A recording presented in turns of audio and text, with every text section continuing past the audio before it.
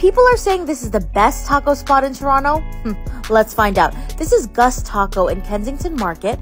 And right when you walk in, oh my gosh, it was authentic. I'll definitely say that.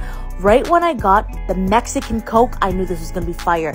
Okay, the guacamole, oh my gosh, so fresh, so tart.